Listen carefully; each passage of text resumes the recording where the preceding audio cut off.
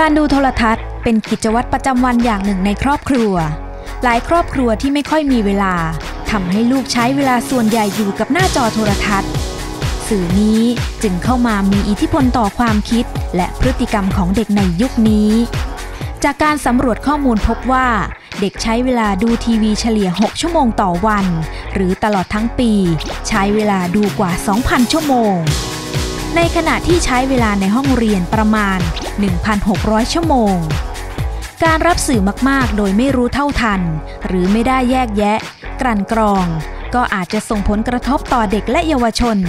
ทั้งปัญหาความรุนแรง การลอกเลียนแบบพฤติกรรมที่ไม่เหมาะสม รวมถึงการกระตุ้นให้เด็กบริโภคมากเกินจำเป็น จนเกิดผลเสียต่อสุขภาพ ค่านิยม จริยธรรม และจิตใจของเด็กได้ จากปัญหาดังกล่าวนำมาสู่การจัดระดับความเหมาะสมของรายการโทรทัศน์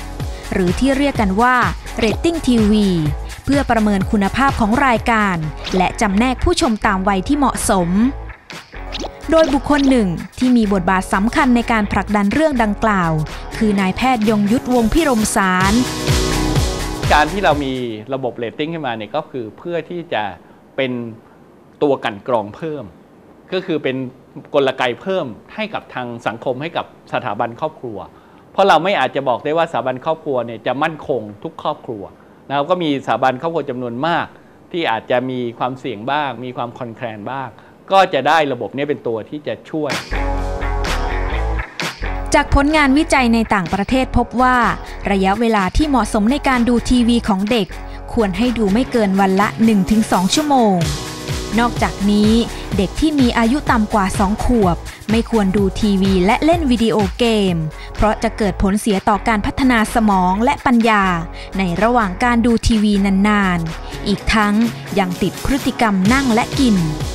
เวลาหนึ่งชั่วโมงที่อยู่ต่อหน้าทีวีเนี่ยนะครับ ถ้าเราเป็นเวลาหนึ่งชั่วโมงที่เราได้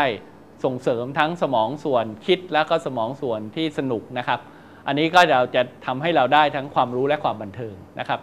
ถ้าว่าทำการดูทีวีเน้นแต่เรื่องความบันเทิงอย่างเดียวนะครับ เราก็จะไม่ได้ในส่วนของความรู้ บางคนอาจคิดว่า การจัดเรตติ้งทีวี เป็นมาตรการจำกัดเสรีภาพในการรับชม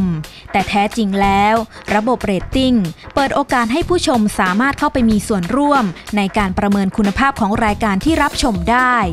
การประเมินคุณภาพรายการทีวีผ่านทางเว็บไซต์นี่เป็นระบบที่ชื่อว่ามี System เป็นระบบที่ประชาชนทั่วไปทั่วประเทศนั้นสามารถเข้ามาประเมินคุณภาพของสื่อทีวีทุกสถานีโทรทัศน์ได้ เป็นระบบที่มีความตรงไปตรงมาความชัดเจนในการที่จะสามารถ evaluate หรือประเมินคุณภาพของรายการทีวี แบบไลฟ์ได้แบบ real time ได้แบบสดได้ หน้าที่ของผมเนี่ยก็คือการสร้าง การคิดสร้างนะฮะทั้งชื่อและและระบบดังกล่าวเนี่ยขึ้นมาเพื่อให้ใช้ในการประเมินคุณภาพสื่อภายใต้กระทรวงวัฒนธรรมโดยผ่านไปยังกรมประชาสัมพันธ์ แม้ว่าการจัดระบบเรตติ้งสื่อโทรทัศน์ จะเป็นทางเลือกที่ช่วยคัดกรองคุณภาพเนื้อหารายการให้กับเด็ก แต่เนื้อสิ่งอื่นใด การให้คำแนะนำบุตรหลานอย่างใกล้ชิดของผู้ปกครอง ก็น่าจะเป็นเกราะกำบังจากผลกระทบทางลบของสื่อโทรทัศน์ได้เป็นอย่างดี เพื่อให้พวกเขาเติบโตขึ้นท่ามกลางสภาพสังคมที่น่าอยู่ต่อไป